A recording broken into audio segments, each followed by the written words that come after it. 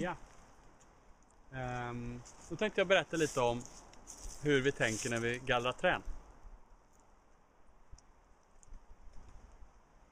Här har vi en grupp med träd framför oss.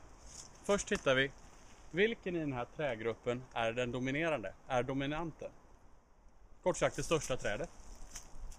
Det är den här idag. Då kan vi ställa oss en fråga, vill vi att den här ska fortsätta att dominera? Eller vill vi hugga ner den här för att lämna över näringstillgångarna till de träden som är vid sidan? De här till exempel. Om den här hade varit en väldigt bra kvalitet så hade jag låtit den stå kvar. Men nu är den väldigt låg kvalitet.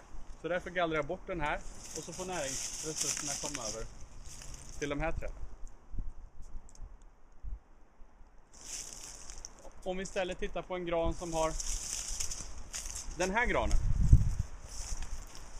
Som är dominant i den här trädgruppen av den här granen. Den här granen och, och de här björkarna här bakom. Så skulle inte jag ta bort någonting här. Därför att de här granarna som är här bakom, de är redan på efterkälke. De tar inte så mycket av näringsresurserna idag.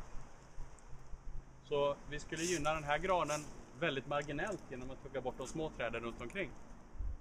Däremot så är de små träden så pass små att de kostar mer att hantera än vad de är värda.